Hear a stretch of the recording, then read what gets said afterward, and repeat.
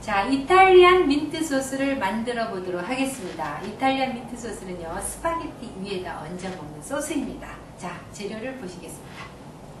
쇠고기 간 거 80g, 식용유가 20ml, 양파가 40g, 마늘이 한쪽, 캔토마토 30g, 토마토 페이스트가 30g, 월계수잎이 한 잎, beef stock이 100ml, 파슬리가 한입, 소금, 후추 약간, 바질 약간, 오네가노, 세러리 약간이 되겠습니다.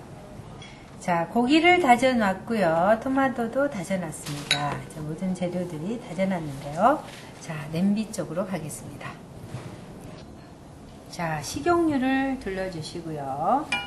식용유를 둘러주시고 여기에 고기를 넣어서 볶아요. 자, 고기를 넣어서 볶아요.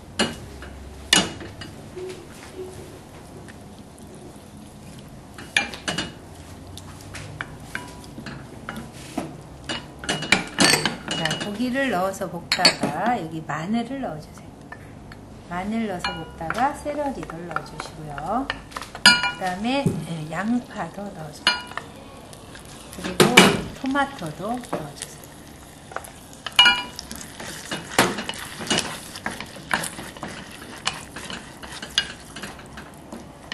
자 이렇게 볶았는데요. 여기에다 토마토 페이스트를 넣어주시고 여기 그 stock을 넣어가지고요.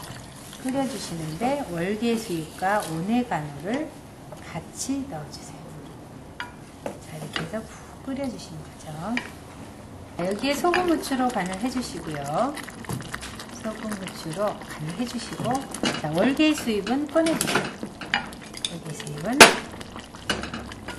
꺼내서 버려주시고요. 자 이걸 담아보도록 하겠습니다. 이렇게 해서 담아보도록 하겠습니다.